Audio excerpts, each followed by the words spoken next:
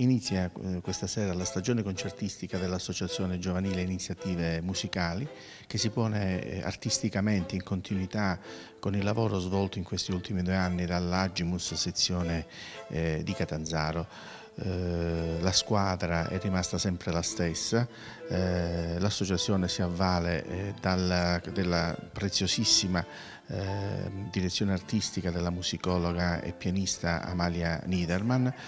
eh, I progetti che eh, sono in piedi sono eh, interessanti, sono ricchi eh, di arte eh, e di interesse eh, per un vasto pubblico. iniziamo questa sera con il duo di, pia di pianoforte e violino,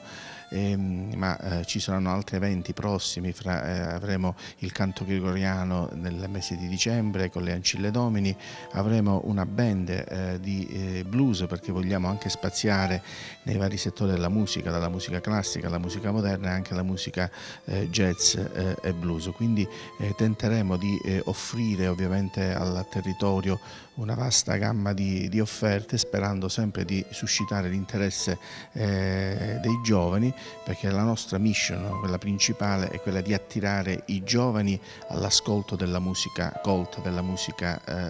importante.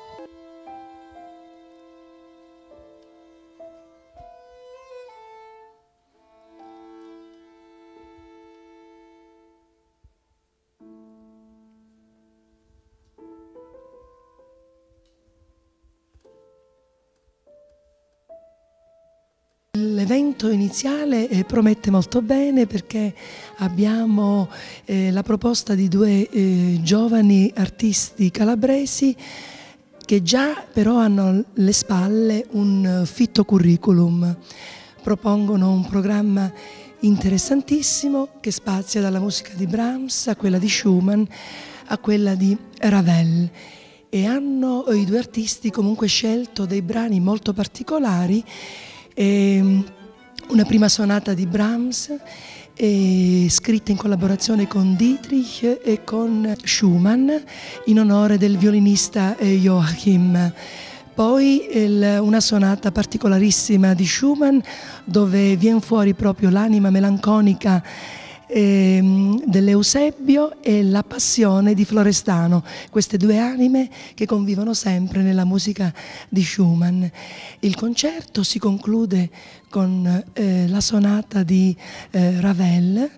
eh, Ravel musicista impressionista, molto sensibile però anche alla musica mm, eh, asiatica, eh, jazz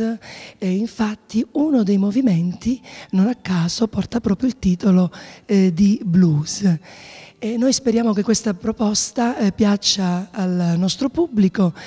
e speriamo che prossimamente le nostre manifestazioni siano sempre più eh, ricche di pubblico.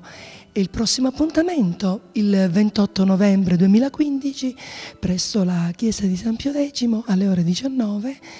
per onorare il ricordo, infatti si tratta di una cinque giorni, il ricordo del grande eh, nostro sacerdote Don Giorgio Bonapace.